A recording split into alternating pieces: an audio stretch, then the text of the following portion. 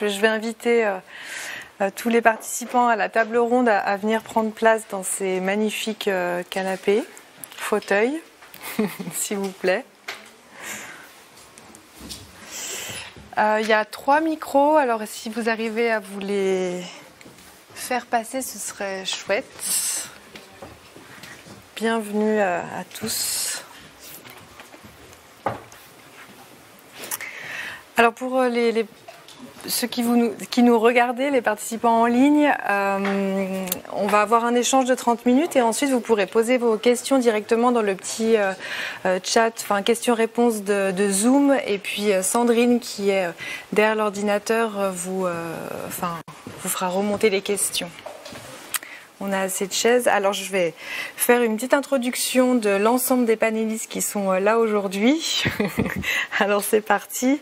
Euh, Cédric euh, Philippon, qui est juste ici, bienvenue, merci beaucoup. Vous êtes chef de projet industrialisation des processus processus chez Biopharm Research and Manufacturing. Vous bénéficiez de plus de 30 ans d'expérience en industrie pharmaceutique et en chimie industrielle et vous êtes euh, impliqué dans plusieurs projets de digitalisation et notamment vous supervisez l'intégration d'un projet d'intelligence artificielle en partenariat avec l'IDIAP afin d'automatiser la planification des ateliers de production et vous nous conseillez de ne pas avoir peur de l'intelligence artificielle, euh, de ne pas voir pardon l'intelligence artificielle comme une trop grande barrière. Une fois les points d'amélioration identifiés, les technologies permettent de tester avec des coûts d'investissement relativement bas. Merci beaucoup. Christophe Martin, on vous a vu en introduction, donc vous êtes directeur euh, qualité des laboratoires de Merck Serono, euh, ingénieur de formation, vous travaillez depuis plus de 20 ans au sein de direction de sites de recherche et développement et industriel dans les industries pharmaceutiques et biotechnologiques. Vous encouragez l'intégration euh, de systèmes d'intelligence artificielle au niveau des opérations industrielles dans le but de rendre toujours plus attractives les tâches de vos collaborateurs. Et c'est ce que vous nous avez expliqué. Et vous observez que l'IA n'est pas un luxe dans la pharmaceutique, euh, mais que les mentalités évoluent ainsi que les contraintes réglementaires qui poussent le secteur à se digitaliser fortement. Merci d'être avec nous. Docteur Henning Muller, juste ici. Merci d'être là aujourd'hui. Vous êtes professeur et responsable de l'unité e-health à la HESSO Valais. Euh, vous avez euh, étudié l'informatique médicale et obtenu un doctorat en vision par ordinateur à l'Université de Genève. Depuis 2002, vous travaillez pour le service d'informatique médicale de l'hôpital universitaire de Genève et vous coordonnez plusieurs projets européens dans l'exploitation des données. Et depuis 2020, euh, vous êtes également membre du Conseil national suisse de la recherche. Vous soulevez les enjeux de collaboration entre l'homme et la machine et soulignez l'importance de toujours avoir une intelligence critique par rapport à la machine, toujours pouvoir expliquer et interpréter les données traitées par les algorithmes. Je fais des petites pauses, mes introductions sont longues. Euh, Pierre Michael Legri, on vous a vu juste avant, vous êtes CEO de Prive. Euh, donc la solution, vous l'avez présentée. Vous êtes entrepreneur et ingénieur informaticien de formation. Et puis votre parcours de vie vous a poussé à proposer des solutions euh, satisfaisantes pour le suivi dans la santé. Et puis c'est de là que est Prive bienvenue. Tony Germinier, on vous a également entendu, vous êtes CEO de Calypse. Euh, vous bénéficiez de 25 ans d'expérience dans le domaine des données, des technologies. Euh, vous développez depuis 2001 des projets d'analytique avancée, de big data, d'IA et, et puis notamment dans le secteur de la santé. Vous relativisez le mythe de l'intelligence artificielle proposée par les GAFAM. Euh, c'est pour vous une évolution de l'analyse des données, boostée par l'utilisation de techniques innovantes et de puissance de calcul, soit un outil applicable euh, pour toutes les entreprises qui génèrent de la donnée. Docteur André, alors votre nom de famille, Enros? Merci. Vous avez euh, obtenu un doctorat en traitement de signaux en 2008 euh, dans le cadre d'expériences de physique des hautes énergies au CERN. Avant de rejoindre l'IDIAP en 2010, vous dirigez le groupe de traitement des biosignaux et vous révisez également des revues scientifiques dans les domaines de la reconnaissance des formes, du traitement des images et de la biométrie. Vous soulevez euh, l'image négative que véhiculent les géants de la tech sur l'exploitation de l'intelligence artificielle, engendrant des répercussions dans le monde de la recherche et dans la réticence également des patients à partager leurs données. Et vous encouragez la mise en place d'un cadre sur mesure et plus adapté au développement de projets, euh, notamment dans le secteur de la santé. Merci d'être avec nous. Et puis Gabriel Avidgor, juste ici. Bonjour et bienvenue. Euh, vous êtes avocat expert en nouvelles technologies et données de santé au niveau suisse et international, chargé également de cours euh, à la faculté de médecine de l'Université de Genève sur euh, les aspects réglementaires des logiciels de dispositifs médicaux et à la HEARC sur l'utilisation des technologies dans le domaine de la santé.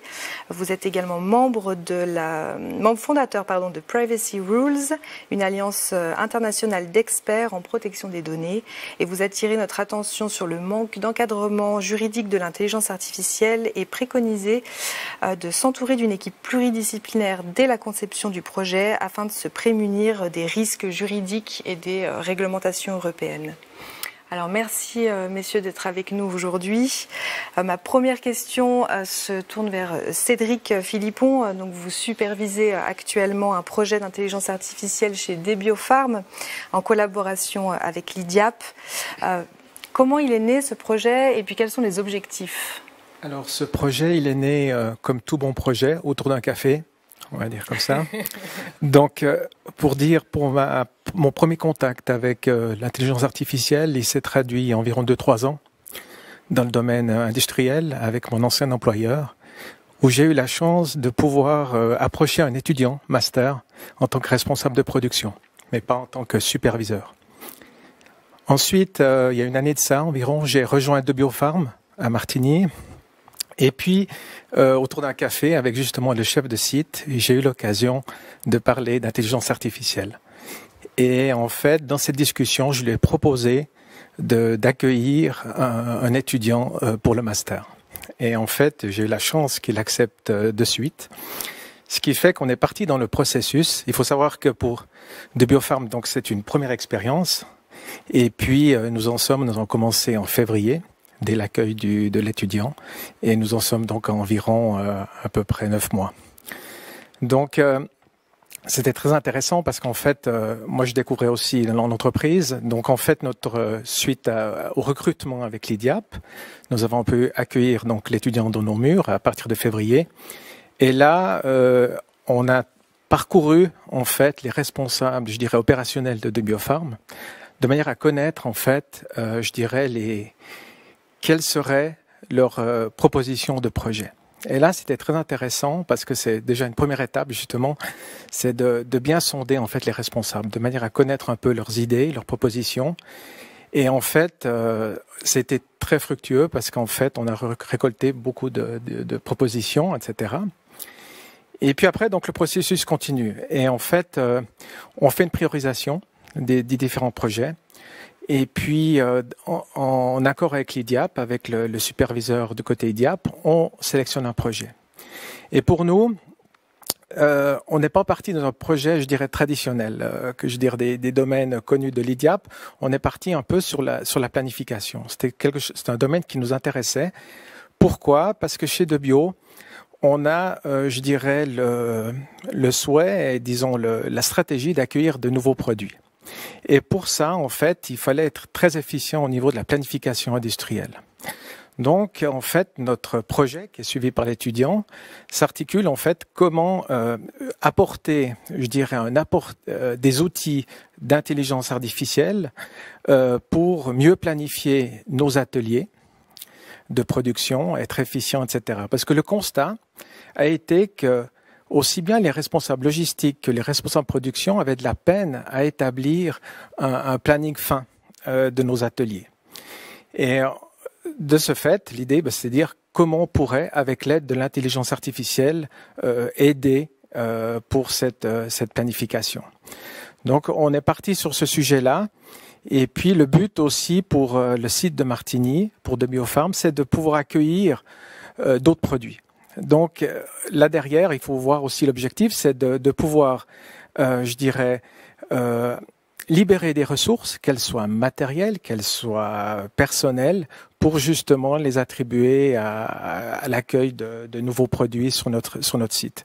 Voilà un peu toute la démarche et en fait cette planification euh, en fait est est bien fine parce qu'en fait, on, on, tient compte euh, bien sûr du, des commandes clients, on tient compte des délais, on, on tient compte euh, de la, je dirais, la disponibilité des équipements, des ressources, etc. Donc c'est quelque chose qui est très intéressant et on est parti avec notre étudiant sur ce thème-là. Donc on est en cours maintenant, on a fait le proof of concept et puis, euh, bah voilà, c'est une belle démarche. C'est vraiment, euh, je dirais, un, un beau chemin qu'on se réjouit de, de, poursuivre. Et donc, en fait, il faut savoir que ce parcours a débuté en février, il, il dure 18 mois. Donc, on, on, est en pleine, je dirais, réalisation euh, de notre euh, de notre projet. Donc, euh, c'est quelque chose qui est, qui est, vraiment intéressant. Donc, vous conseillez aux entreprises de oui collaborer Alors, avec l'IDIAB justement moi, je pour conseille... lancer des projets. Ça va faire plaisir à François, oui. Non, je, je, je, conseille aux entreprises parce que souvent, en fait, le mot intelligence artificielle fait peur. Je veux dire, on se dit, mais comment on va pouvoir intégrer de l'intelligence artificielle dans nos processus, etc. Donc il y a toujours un peu un, un certain retrait. En, industrie pharma, on sait que c'est pas facile, c'est très réglementé, etc. Comment apporter ceci et puis après requalifier, etc. Donc on se rend compte de ça. Mais moi, ce que je peux dire, en tout cas, de l'expérience, les, les, deux expériences que j'ai, la deuxième que je suis en train de suivre comme superviseur, c'est que c'est un enrichissement. Clairement, on voit que euh, on apporte l'expérience métier euh, à notre étudiant, l'étudiant apporte ses outils, et après c'est une symbiose. En fait, c'est un échange, c'est un win-win qui arrive. Et pour dire qu'en fait, maintenant il est en train de travailler sur un projet, pour dire ça déclenche déjà des idées d'autres projets qu'on pourrait poursuivre avec cet étudiant une fois son, projet accompli. Donc pour dire que c'est c'est vraiment très très porteur en tout cas. Et moi je peux je dire euh, on va dire promouvoir ce, ce type de démarche parce qu'en fait on voit que au niveau aussi bien de l'étudiant aussi bien après, ben, c'est clair qu'il faut aussi avoir un top management qui soit ouvert à cette nouvelle technologie, ce qui est le cas euh, pour, pour des biopharmes. Donc euh, voilà, c'est vraiment un, côté gagnant. Justement, j'en arrive un petit peu au niveau des compétences euh, nécessaires pour mettre en, place des projets d'intelligence artificielle. Euh, Aujourd'hui, est-ce que les métiers, les expertises qui sont un peu moins technologiques euh, arrivent à évoluer? euh, en apportant euh, une partie un peu plus euh, informatique ou euh, technologique et comment la collaboration se fait entre euh, les étudiants euh, qui, ont, qui sont formés à l'IDIAP et puis les experts métiers, on va dire. Alors, ce qu'on voit ici, c'est qu'en fait, en tout cas sur des c'est qu'en fait, le, les experts métiers, en fait, ont tout de suite, il y a une intégration de l'étudiant qui se fait très rapidement. Et en fait, euh, on a tout de suite commencé par l'amener sur le terrain, de pouvoir euh, vraiment se familiariser avec les différentes étapes de nos procédés. C'est des procédés quand même qui sont complexes, etc. Donc de bien discuter. Et en fait, il faut vraiment promouvoir cet échange expert métier et en fait de, l'étudiant qui apporte euh, quelque part tout ce qu'il apprend avec les, outils, hein, d'accord. Et en fait, pour nous, ben, ça s'est fait vraiment très, très naturellement. Donc, on a vraiment tout de suite des séances qui se sont mises en place, tout de suite des échanges. Et puis aussi, ce qu'il faut savoir, c'est que dans ce, parcours de formation, c'est qu'on est suivi par un superviseur IDIAP aussi qui apporte aussi son, ce côté expertise. Donc, euh, je dirais, on est bien accompagné euh, par rapport à ça. Mais effectivement, ce côté communication, ce côté échange est essentiel euh, par rapport à, ça. Est-ce que les métiers évoluent? Je sais, Christophe, qu'on avait parlé du recrutement, puis on avait parlé aussi lors de, la présentation. Quel type de profil vous recherchez aujourd'hui pour euh, accélérer les projets d'intelligence artificielle? Disons qu'aujourd'hui, effectivement, les recrutements doivent de plus en plus s'orienter vers euh, euh, des data scientists, par exemple, euh, et on en manque cruellement, par exemple, dans l'industrie pharmaceutique. Et ça dépend encore, je vais reprendre un, petit peu ce que disait Cédric, ça dépend vraiment de l'ouverture du, senior management. Euh, quand on va voir dans l'industrie pharmaceutique de, de, senior management, en lui disant, bah, ce serait bien qu'on recrute des data scientists ou des informaticiens, enfin, ou des gens qui s'occupent d'intelligence artificielle, on n'est pas toujours compris. Euh, donc c'est euh, traditionnellement l'industrie pharmaceutique, là je parle de celle que je connais, recrute des, biologistes, des pharmaciens, des chimistes et euh, relativement peu de, data scientists. Les informaticiens qu'elle qu recrute, ce sont des informaticiens industriels qui connaissent que c'est des serveurs, des automates, des logiciels de gestion éventuellement, mais par contre on peut de, connaissances en IA. Et à mon avis, il est nécessaire de prendre des gens d'une part, qui connaissent bien peut-être nos métiers, la, fabrication, le contrôle, le, développement des médicaments, mais qui ont aussi le goût euh, de, l'intelligence artificielle, qui, qui, sont ouverts euh, culturellement. Et moi, j'appelle de tout mon vœu, en tout cas, que les universités traditionnelles de pharmacie, de biologie, de chimie, euh, de physique apprennent les fondamentaux de l'IA à, leur, à, leurs étudiants. C'est-à-dire que l'IA ne doit pas être uniquement un, un domaine d'informaticien, on le voit maintenant, on a, plus d'IA dans notre vie quotidienne qu'au travail, hein, dans l'industrie pharmaceutique. Hein. dans, la vie quotidienne de l'IA, je suis sûr que j'en ai partout, sans le savoir. Par contre, dans l'industrie, ça, elle a du mal à perfuser, à trouver sa place. Et Pardon, je, voulais juste revenir sur, sur euh, Henning, qui euh, on avait eu plusieurs conversations. Et du point de vue expertise, par exemple, un médecin ou un radiologue, aujourd'hui, est-ce qu'il arrive à avoir des formations ou comment ça se passe? C'est quelque chose, effectivement, comme on a pas mal discuté, c'est quelque chose qui est qui n'est pas évident d'inclure vraiment dans les métiers. Moi, j'ai donné des cours pour les biologistes et pharmaciens en, informatique, mais c'est au niveau très bas, c'est pas au niveau de l'intelligence artificielle. Et notamment, il y a beaucoup de métiers qui changent. Euh, en, radiologie, par exemple, il y a les outils d'aide à la décision qui sont là, mais comment les intégrer dans un processus classique, etc. Comment interpréter les résultats, comment comprendre ce que ça donne? Euh, ça, c'est pas évident. Et euh, il y, a pas mal d'initiatives euh, donc dans le curriculum, dans la formation, d'inclure, mais c'est pas évident parce qu'il faut couper ailleurs, parce qu'on ne peut pas augmenter le nombre d'heures.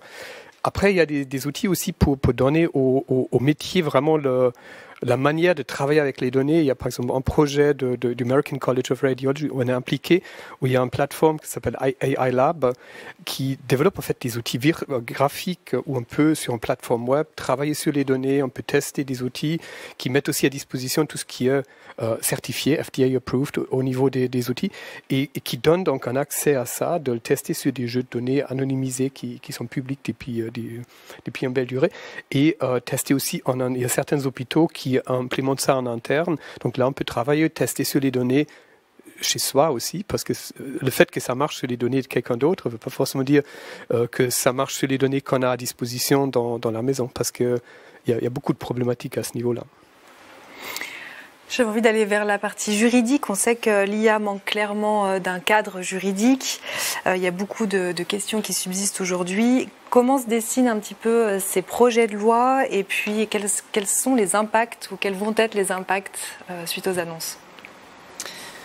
Alors c'est vrai qu'il n'existe aujourd'hui pas vraiment de législation dans le monde spécifiquement sur l'intelligence artificielle. En particulier en Suisse, on a une approche assez prudente en général sur la surlégifération. Donc on, on a une tendance à dire que le système actuel permet déjà d'encadrer les enjeux, euh, même futurs. Euh, on, le voit beaucoup avec les nouvelles technologies. Il y a, un, frein souvent à, adopter une nouvelle loi euh, particulière dans un domaine particulier. Et l'intelligence artificielle, c'est la même chose. Ça ne veut pas dire qu'il n'y a pas des groupes de réflexion. Il y a beaucoup de groupes d'experts qui réfléchissent à ces questions-là pour savoir comment pouvoir anticiper des enjeux sur la société. Euh, maintenant, il y a beaucoup d'autorités euh, qui sont pas forcément des parlements dans, certains pays euh, qui donnent des, lignes directrices. Donc on a déjà beaucoup de lignes directrices qui sont basées sur des principes fondamentaux, de droits fondamentaux, de principes éthiques, qui, permettent justement de guider un peu l'industrie, mais aussi euh, aussi les individus pour savoir vers où on va et comment on peut protéger en fait un petit peu les droits des individus. Euh, L'Europe aujourd'hui a établi une proposition assez ambitieuse de, réglementation, de règlement européen, un peu comme le règlement européen sur la protection des données, le RGPD, GDPR. Euh, cette, ce projet de règlement permettrait justement de, de, mettre en place un système de, de protection, en guillemets, ou de définition euh, des différents systèmes mis en place d'intelligence artificielle. Donc aujourd'hui, ce, projet euh, permettrait en fait d'encadrer euh, tout développement d'intelligence artificielle. Donc le développeur qui met sur le marché, c'est de nouveau une, une, optique de mise sur le marché ou de mettre à disposition, de mettre en service une intelligence artificielle, euh, c'est de réglementer cela pour ses développeurs. Donc ce serait des GAFAM, mais ça peut être aussi euh, un institut de recherche hein, qui met en place une, un, logiciel d'intelligence artificielle. Et, ce qui est intéressant, c'est de voir que cette réglementation permet de qualifier en fait les, les différents catégories d'intelligence artificielle. Un petit peu comme pour les dispositifs médicaux, on a des classes de risques, euh, classe 1, 2, 2A, 1, 2A, 2B et 3. Donc le risque pour le corps humain, là c'est un peu plus le risque général pour la société ou pour l'individu. C'est intéressant d'ailleurs, les, personnes qui ont participé à ce, projet de loi sont des personnes qui sont spécialisées dans les dispositifs médicaux. Euh, donc on parle de, marquage CE euh, pour la mise sur le marché. Donc on, voit cette influence du médical hein, euh, déjà dans l'intelligence artificielle. C'est assez intéressant. et on a des catégories qui sont d'intelligence artificielle à haut risque, par exemple. On a, des, risques élevés, très exigeants. Il faut un système de gestion de la qualité, quality management system. Il faut un il y a beaucoup d'exigences de transparence, d'audit, il y a, tous, ces, principes qui sont très très... Euh, donc, parler des conséquences. Les conséquences, c'est peut-être le frein à l'innovation. Euh, mais il y a aussi euh, deux autres catégories. Il y a une catégorie de, disons, en dessous qui est à faible risque, ou en tout cas à risque limité. Et, en fait, ces intelligences artificielles-là, en fait, ne seraient pas forcément euh, tellement freinées par la législation. Il y aurait quelques principes de base euh, et qui se, réfèrent, qui se référeraient ensuite à d'autres lois. Par exemple, la protection des données, la protection des consommateurs, euh, etc. Là, on parle au niveau européen. Au niveau européen, mais ça s'appliquerait dès que quelqu'un met sur le marché en Europe, même depuis l'extérieur, un, un, logiciel. Et donc, il y aurait ces, ces ces catégories euh, peu à, faible risque, et puis des catégories interdites, purement interdites. Donc il y a d'autres catégories qui, elles, auraient des conséquences, par exemple, sur, l'emploi, sur l'asile, sur euh, la, reconnaissance faciale avec, pour pouvoir euh, mettre en place des lois pénales. on voit tout de suite s'il y a un, risque élevé pour l'individu et dans sa liberté de mouvement en lien avec les droits fondamentaux, certaines catégories sont purement interdites. Euh, donc là, on voit, euh, c'est assez intéressant en fait. Parce que le GDPR euh, même a quand même pas mal d'influence sur l'intelligence artificielle et l'utilisation des données, aussi cette droit d'avoir une explication sur les décisions qui seront prises sur les données.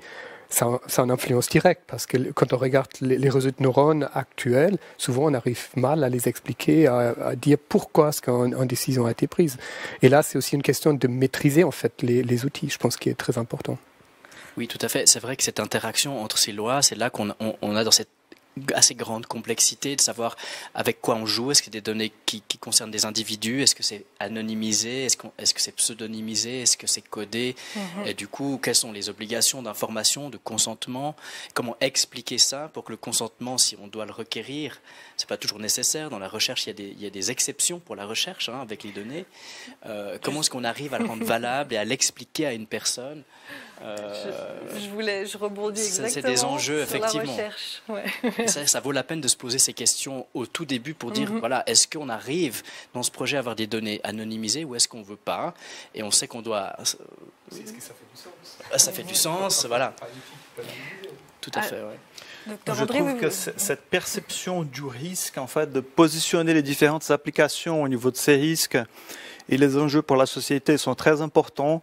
Je reste juste euh, enfin, je, ferai garde attention à des exceptions de recherche parce que c'est très important que nous puissions connaître aussi quels sont les risques, donc étudier ces risques et puis euh, avancer avec les développements des technologies.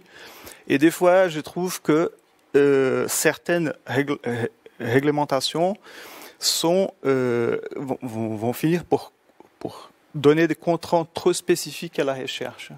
Donc on doit mettre en place des fois des infrastructures très importantes.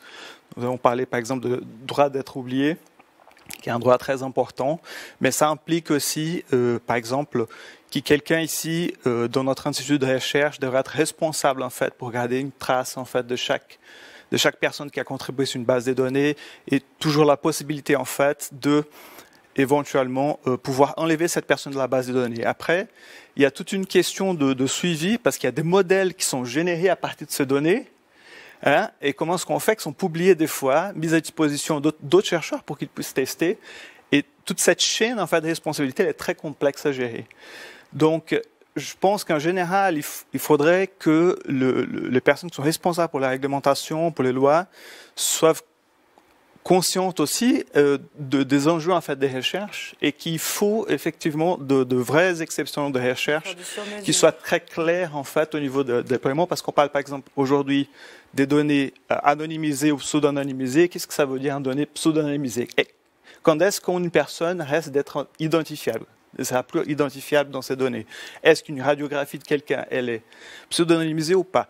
Et cette définition, elle n'est pas très claire en fait, et du coup, pour, pour se garder euh, enfin, dans le bon côté de la loi, on va dire comme ça, euh, il faut qu'on mette en place des infrastructures, infrastructures qui des, fois deviennent très chères. Mais juste les compléter, par rapport à l'anonymisation, donc si c'est anonymisé, on ne peut pas réidentifier, donc on ne peut pas enlever les données de la personne. C'est typiquement un des cas, si on veut pouvoir les enlever, on est obligé de pseudonymiser. Autrement, on ne peut pas enlever les données. Oui, tout à fait. et je pense qu'il faut aussi vraiment regarder cette, euh, cette relation entre euh, risque et bénéfice dans, dans, ça. Parce que si un, une application, un outil aura des bénéfices pour une large population, est-ce que certains risques, on peut les prendre? Et là, en, général, aussi des questions, pas que légales, mais aussi éthiques, on, on dit quand même que c'est important de pouvoir les utiliser. Oui, je suis tout à fait d'accord. Les domaines d'application, par contre, si on va déployer une solution commerciale, le risque, en fait, de ce déploiement, il est différent du risque de la question de recherche fondamentale, où on va se demander est-ce qu'il y a un risque?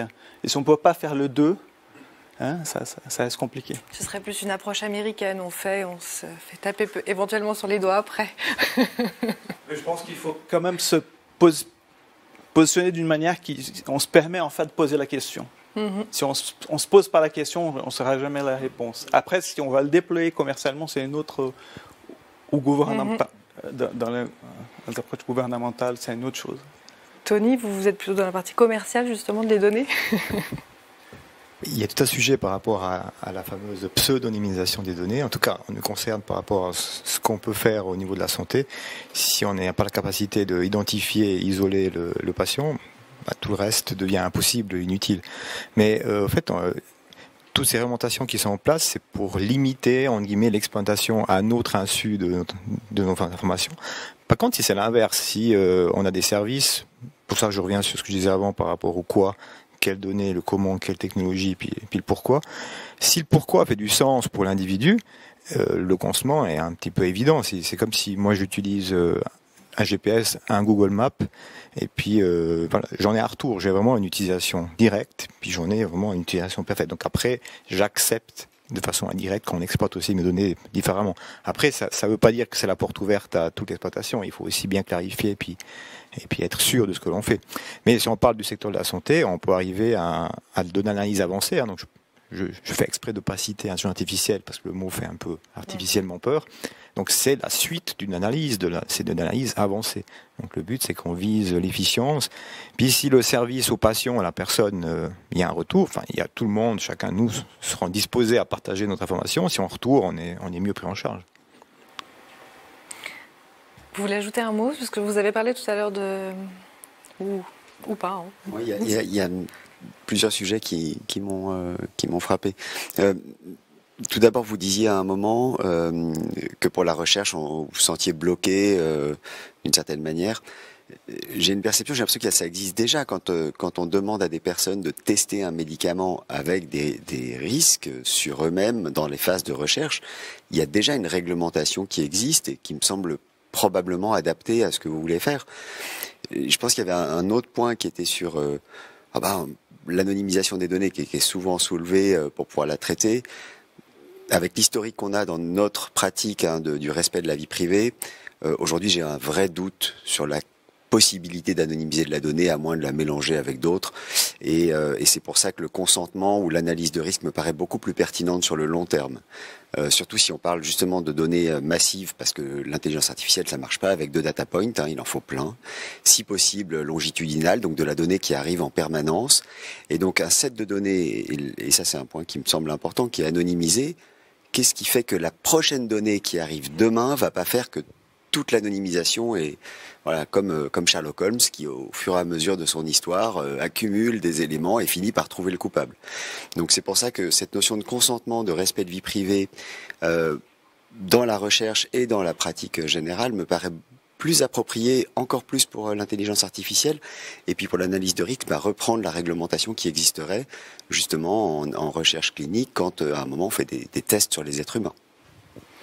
C'est assez juste. Euh, pour rebondir là-dessus, euh, dans, le, projet européen, en tout cas, il n'y a pas de mention, c'est intéressant, il n'y a pas vraiment de mention du secteur de la santé ou de la recherche. Donc il n'y a pas vraiment de limitation particulière au, au domaine de la santé, aussi parce que c'est un domaine tellement réglementé déjà qu'il n'y a pas besoin, j'imagine, de, encore plus le réglementer.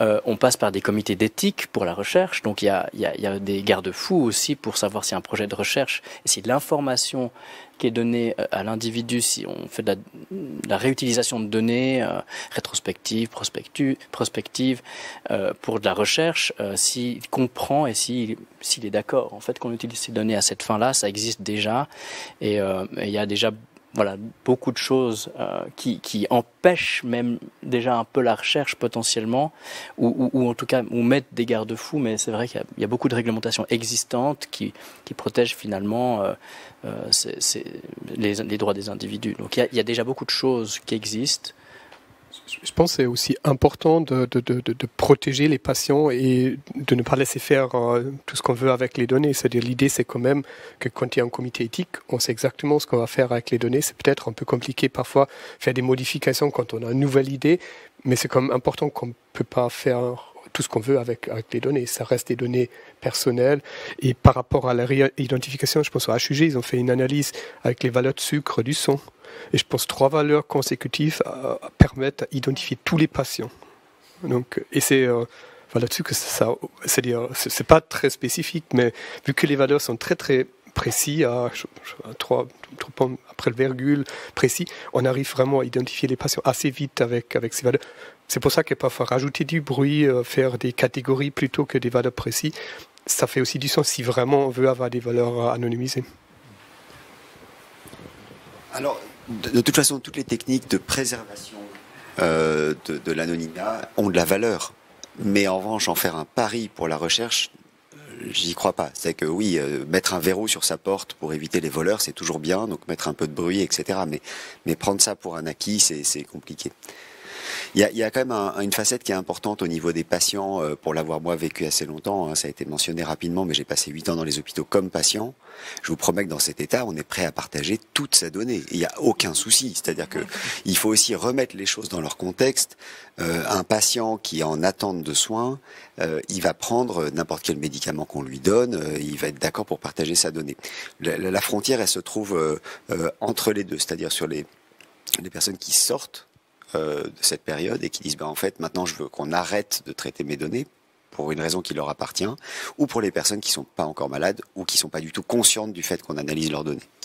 Maintenant, moi, si je peux te donner, puisqu'il y en a plusieurs personnes ici qui travaillent sur la donnée de patients, euh, il y a un truc qui est super quand on est patient, c'est d'avoir un retour. Et là, on a envie de partager encore plus. Donc pour toutes les personnes qui font de la recherche ici, si, si vous arrivez à avoir des voix de retour en disant voilà l'étude qu'on a fait avec vos données, elle a apporté ça. Le patient va peut-être rien comprendre, mais il a un, un sentiment de participation.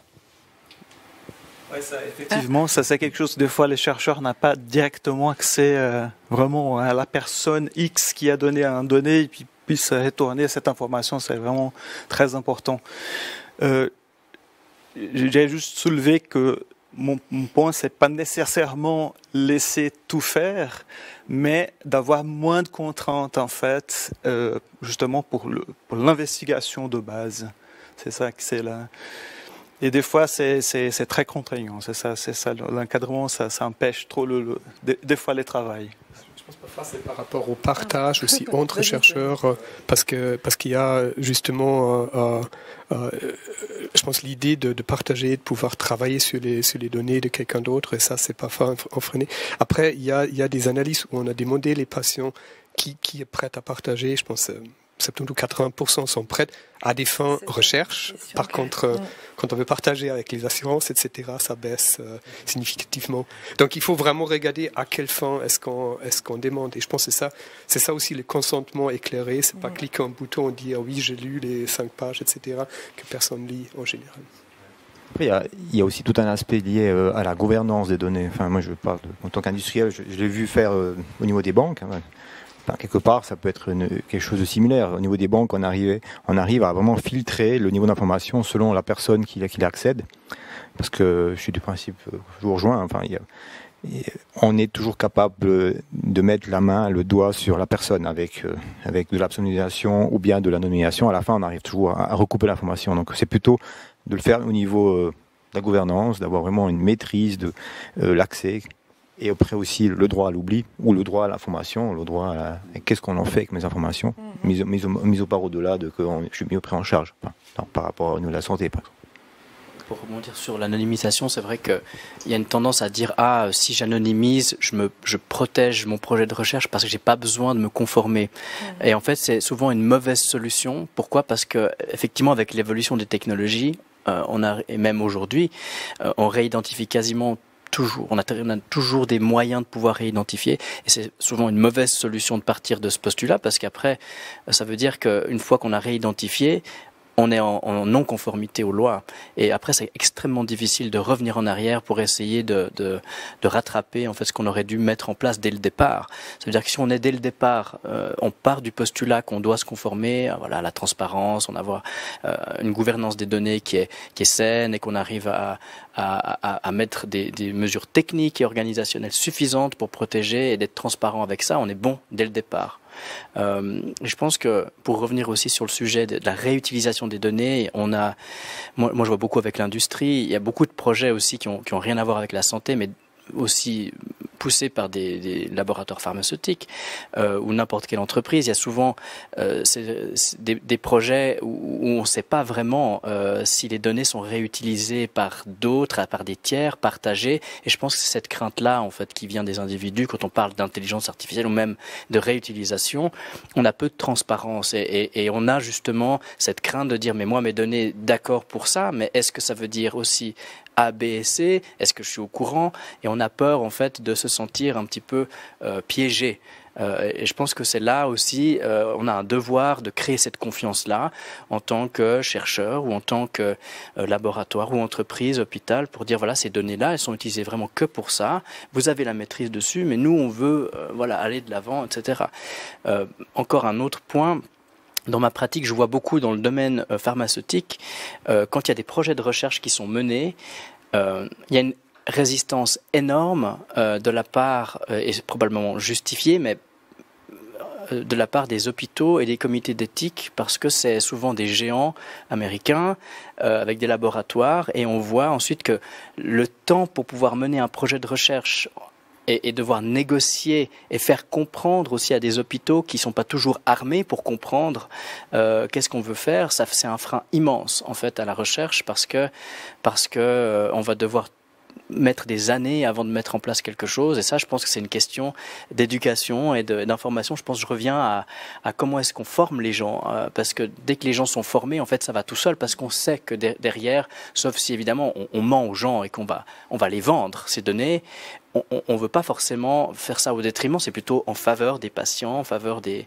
euh, des personnes. J'ai vu aussi avec les, les, médecines personnalisées, on a, euh, il y a des laboratoires, pas mal de laboratoires qui font des médecines personnalisées où on prend les cellules d'une personne, on va les modifier, les réinjecter à la personne et c'est un traitement où on doit avoir les données des personnes, euh, des patients.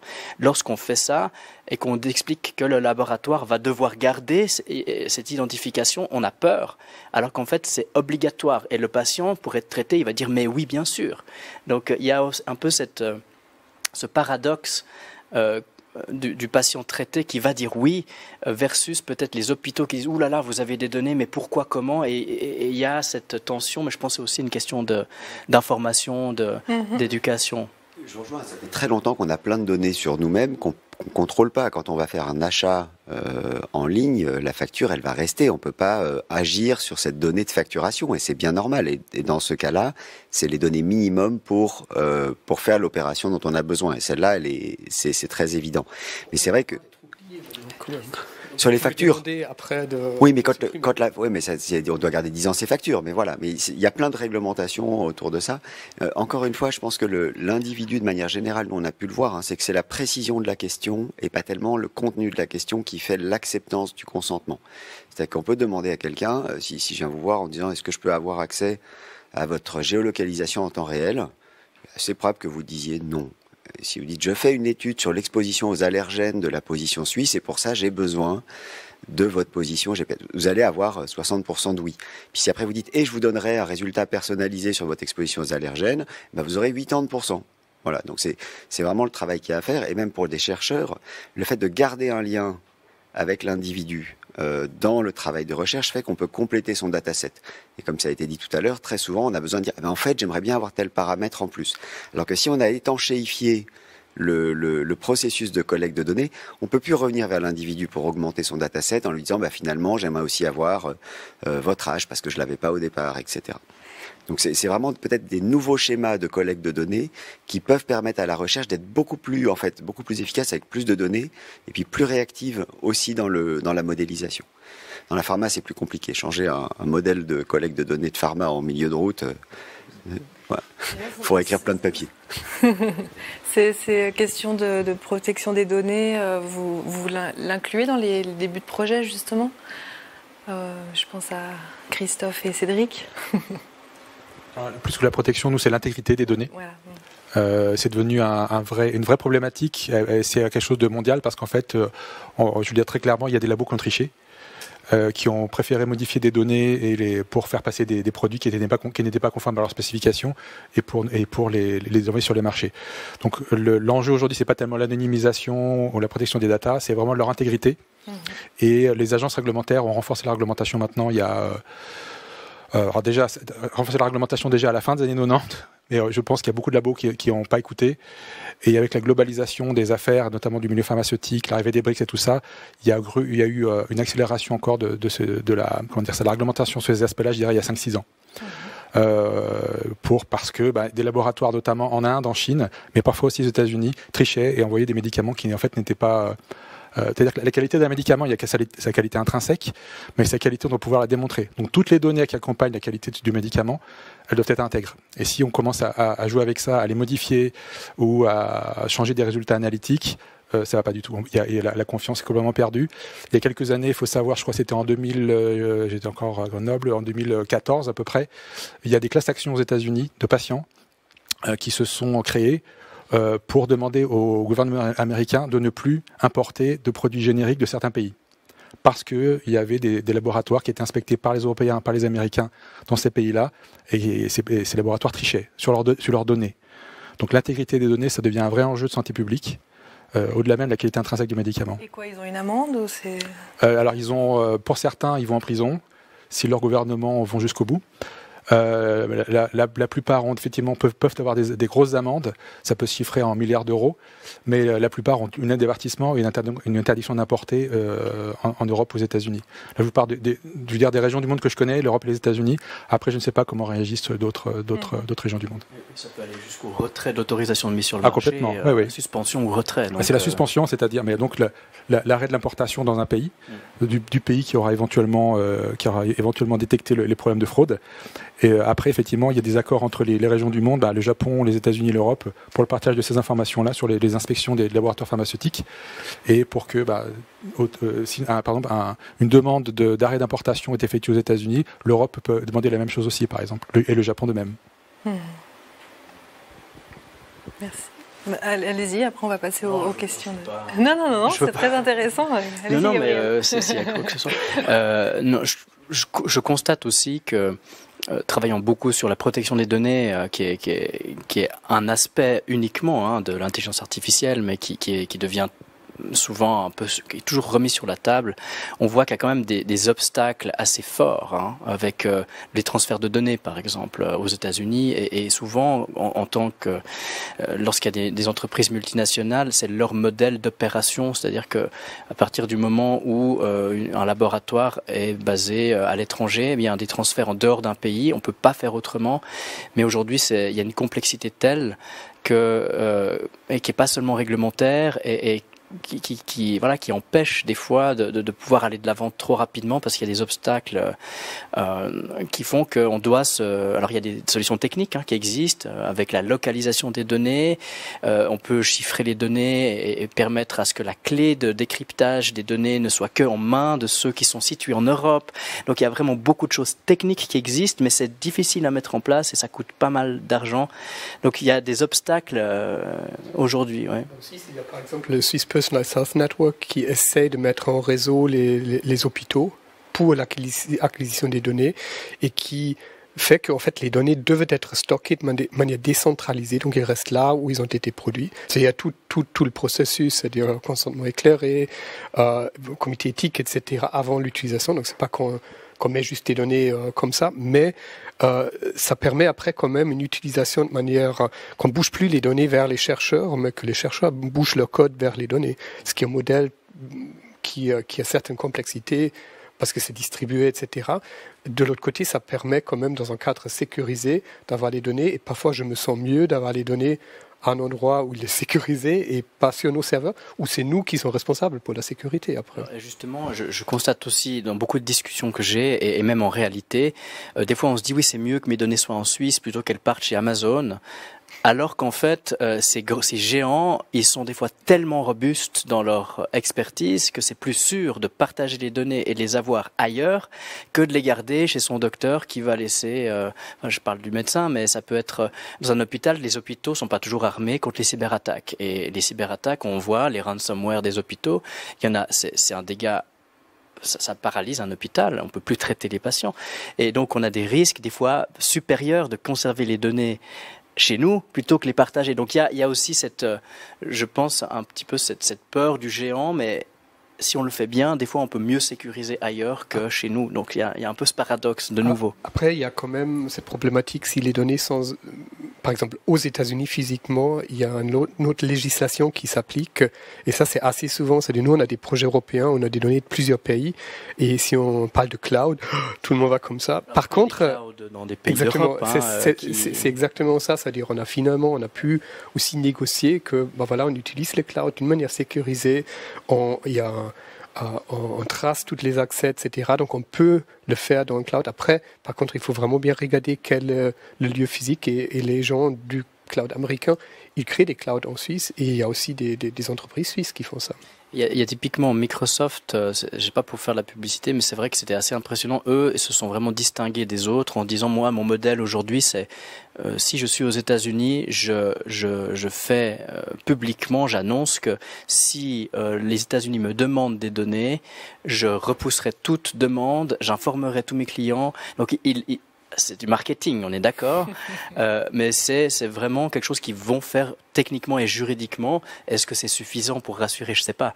Mais en tout cas, il y a, mm -hmm. on voit qu'il y a une volonté de vouloir euh, euh, techniquement repousser, en tout cas, les, le, le, fait que certaines juridictions permettraient des surveillances, etc. Maintenant, en réalité, est-ce que le domaine de la santé permet vraiment est, est un domaine dans lequel on veut faire de la surveillance de patients pour des questions de sécurité nationale, c'est peut-être pas le secteur qui est le plus euh, à risque au final, mais ça existe et il faut en tenir compte. Mais Microsoft, euh, par contre, ils avaient quand même, je pense avec Office 365, il y a quelques années, ils ne pouvaient pas garantir si les entreprises l'implémentaient que les données transitent pas par les États-Unis. Et ça, c'était quand même un frein à un moment. Je sais pas où, où, on en est maintenant, mais ça veut quand même dire, parfois les, les réseaux sont très complexes et on ne sait pas exactement pas où ça passe.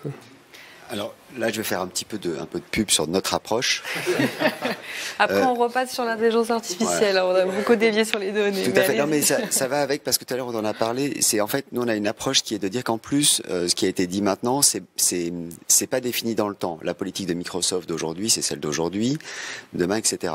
Donc c'est vrai que pour nos clients, on a une approche qui est de dire si vous utilisez notre système, vous allez pouvoir localiser les données, donc dans plusieurs endroits, et en plus les rendre mobiles. C'est-à-dire que si d'un seul coup vous voulez changer l'endroit physique où sont stockées vos données, vous allez pouvoir les changer euh, en quelques jours, euh, voire quelques heures dans certains cas, et individu par individu. C'est-à-dire que vous avez un individu qui dit je ne veux plus mes données ici, je les veux en Suisse, pour autant que votre infrastructure et, et les deux serveurs, vous allez pouvoir les déplacer.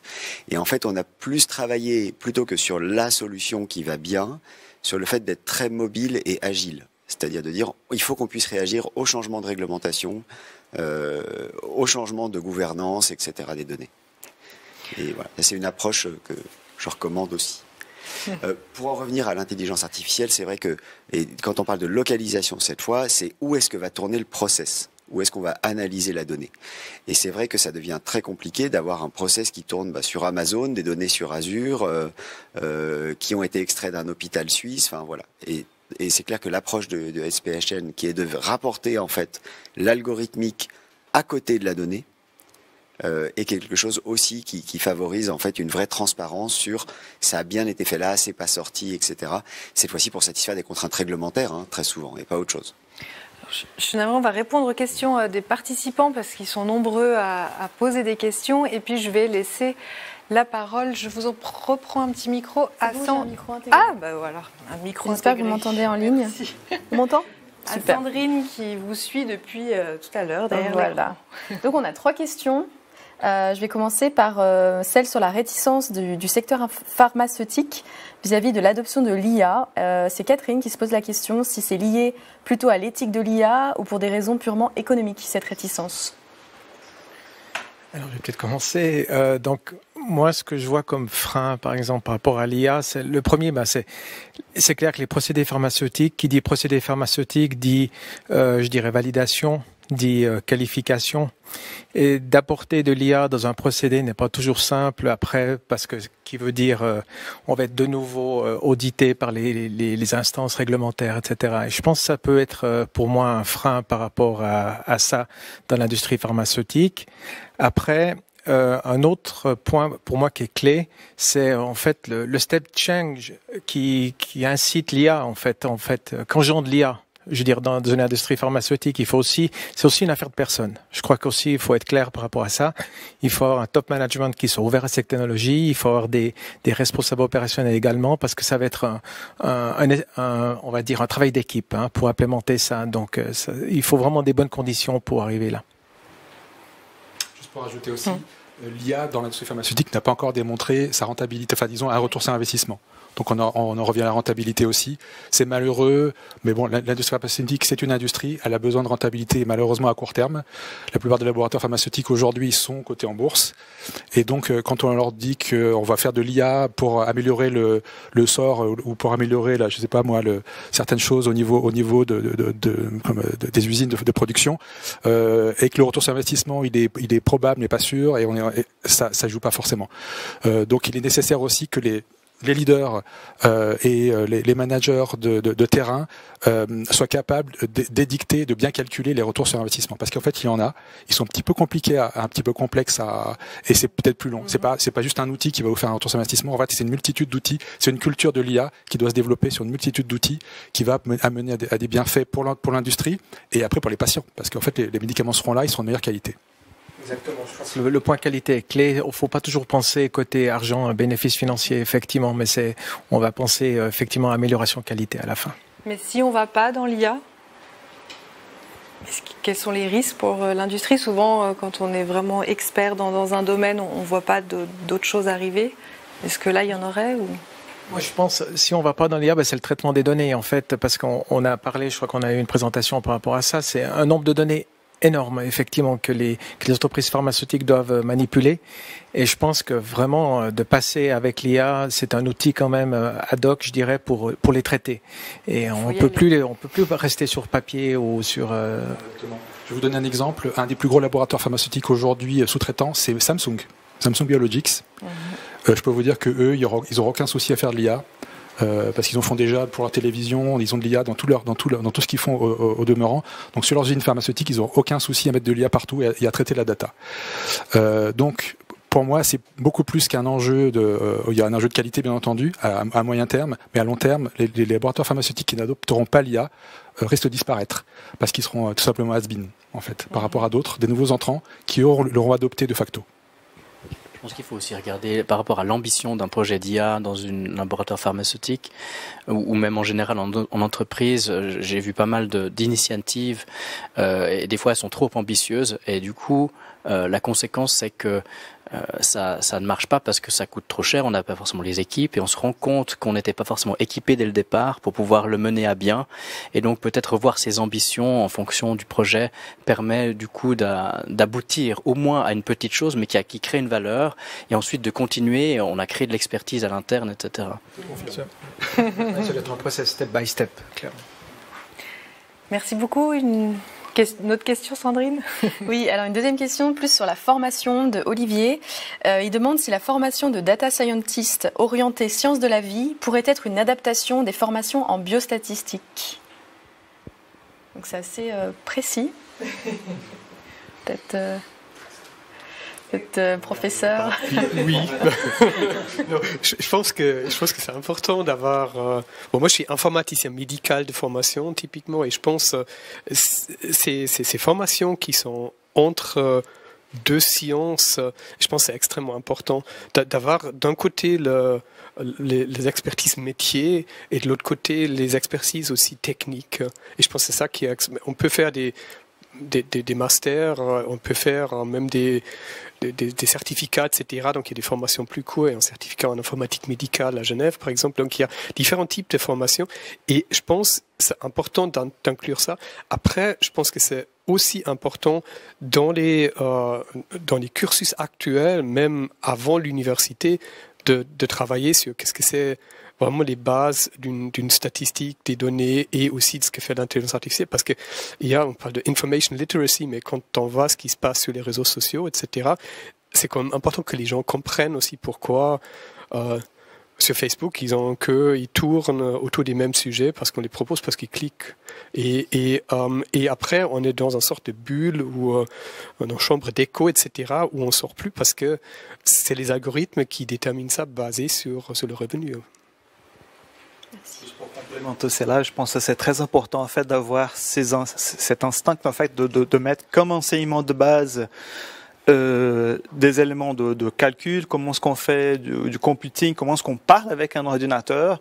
Et puis je pense que dans cet âge où on, a beaucoup de données, de plus en plus de données, il faut aussi euh, garder cette réflexion qui tout le monde, doivent avoir accès aussi à cette compréhension de data science, de la machine learning, pour qu'on puisse générer une, société qui est plus adaptée et plus capable en fait de trouver des solutions dans ces domaines aussi. Hein. Mm. C'est comme euh, on, on, se pose pas la question d'apprendre une deuxième langue à l'école de toute façon l'anglais, souvent le cas. Euh, oui, c'est vrai. Plus le Java, voilà, il faut, il faut qu'on sache parler avec les ordi de la même manière. Il faut que ça soit comme l'anglais. Il faut que je puisse parler avec mon ordi pour qu'il puisse me sortir de solutions. Il y a, c'est encore un autre mhm. pilier en fait à mettre à mettre en place. Très bon parallèle. Je te rejoins André par rapport à ce que tu dis. Moi, j'ai plutôt, enfin même même chez nous, on est confronté à ce problème d'avoir euh, des moutons à 15 pattes, pas 5. Puis en fait, c'est plutôt de les voir par strat. Et puis euh, le, enfin, l'IA, la data, la compréhension de la data, ça devrait être une, une branche, un pilier obligatoire euh, de l'éducation tout comme euh, la langue, les maths. Enfin, c'est des maths aussi, mais c'est pas que des maths, mais c'est une compréhension de ce qu'on fait à tout. En tout cas, c'est ce qu'on essaie d'avoir chez nous, de pas avoir des gens qui sont capables de tout faire, des gens qui sont capables de tout comprendre, enfin, en tout cas de comprendre nos, nos enjeux, et puis après d'avoir euh, peut-être pas forcément que des data scientists, mais des gens qui sont par strat, donc qui sont capables de, de comprendre la donnée, de, de savoir comment la, la, manipuler, savoir quoi en faire, quel algorithme ou quelle méthode mettre en place, et puis après de, de savoir comment la, la présenter à à des clients, à des, à des utilisateurs. Donc il y a vraiment euh, des data scientists à plusieurs strates. Enfin, après, c'est même pas des data scientists, c'est des experts de la data qui comprennent un besoin et qui arrivent à la chercher. Donc, je rejoins complètement là. Euh, je pense que ça, ça connecte aussi sur un autre problème qui était déjà soulevé par Henning ici, cette question de l'explicabilité. Donc c'est très difficile en fait de lier l'explication d'une solution IA à la personne qui va être bénéficiée pour cette solution IA, mais si cette personne elle aurait plus de, on va dire, connaissances de base, ça serait peut-être plus simple en fait de les faire expliquer pourquoi est-ce qu'on est arrivé à cette, décision. Je, pense que par rapport à l'explicabilité, ce ce qui est important, c'est de savoir la conséquence au final, parce que de savoir qu'il y a comment marche l'algorithme, peut-être quelle technique, c'est technique. Même quand on est dedans, euh, moi, comme simple juriste, j'ai souvent besoin qu'on m'explique de manière très simple avec des images, faire des dessins. Euh, mais, mais pour tout le monde, je pense que la conséquence, c'est dire est-ce que, est-ce que en faisant ça, je, je m'expose? Ou, Quelle est la conséquence pour moi, pour la société? Est-ce qu'on va perdre euh, de la démocratie? Est-ce qu'on va perdre quelque chose, une liberté? Ou est-ce que simplement il y a un avantage Et puis que je pense que ça, c'est un des enjeux de, l'information, de la transparence et, et, voilà, du contrôle que la personne peut avoir sur ces projets-là je pense parfois c'est des questions vraiment très pratiques, assez simples. Quand on vous refuse une assurance maladie complémentaire, vous aimeriez bien savoir pourquoi. Et déjà de pouvoir expliquer ça, parce que ça, c'est des algorithmes derrière qui disent, ben voilà, c'est un groupe de risques, mais euh, basé sur quelles données Et je pense là, c'est important de vraiment de pouvoir l'expliquer au niveau des données pour éviter des dérives, que des femmes en âge d'être enceintes, on leur refuse systématiquement les assurances complémentaires hospitalières, ces genres de choses. Et je pense que c'est important de prendre ça en compte, parce que ça a un impact réel. Il y, a encore un autre enjeu qui va dans la même direction, c'est euh, de garder un regard critique. Aujourd'hui, on ne peut pas garantir que l'intelligence artificielle va nous donner une bonne recommandation ou va, même si ça marche 99% euh, des fois, peut-être qu'à un moment elle dit euh, il faut faire ça et c'est pas du tout ce qu'il faut faire.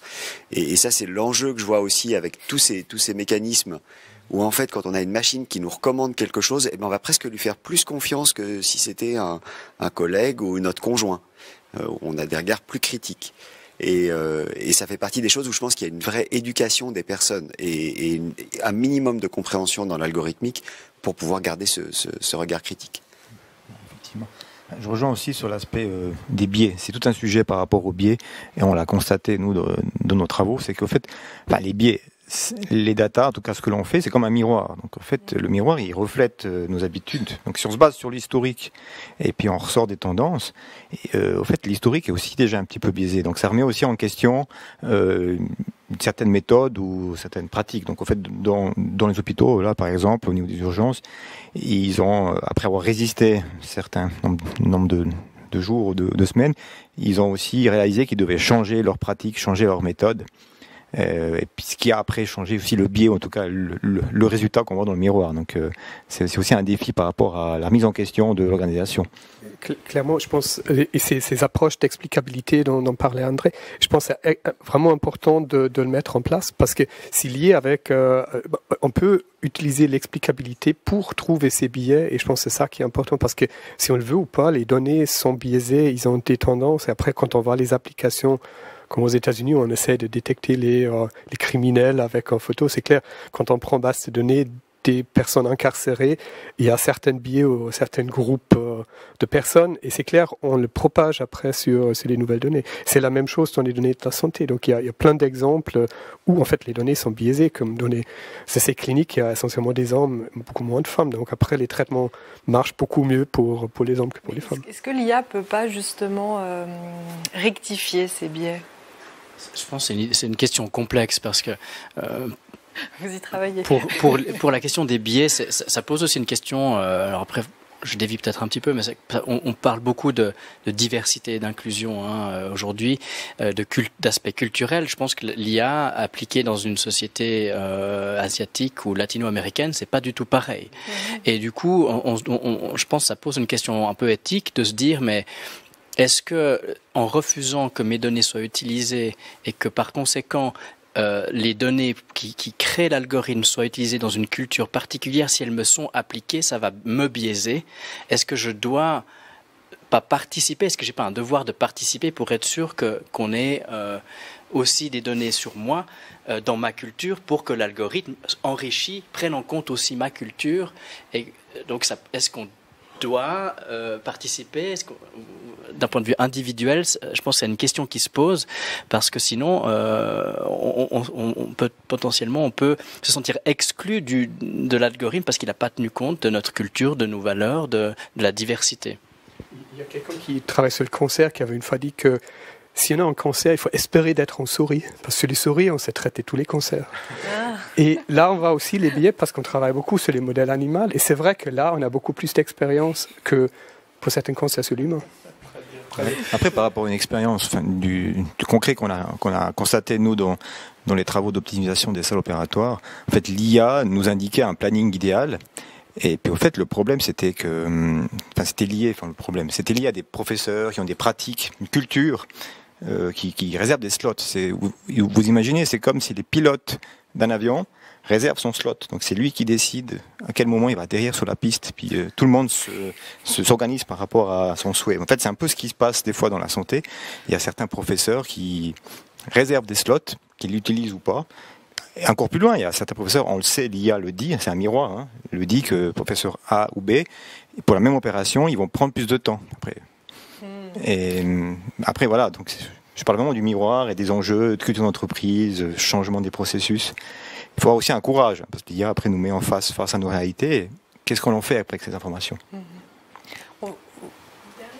Est-ce que. Allez. Je, je voulais prendre la dernière question, mais. Euh... Ouais, allez, dernière question. Une dernière question, c'est euh, sur l'intégration de l'IA dans un processus opérationnel, hein, donc plus concret. Donc, quels sont les prérequis en termes de maîtrise informatisée de la production pour imaginer intégrer de l'IA dans un processus opérationnel? Par exemple, comment, quand et par qui un projet IA est intégrable dans, une, dans un ERP existant, par exemple. Voilà, dans les...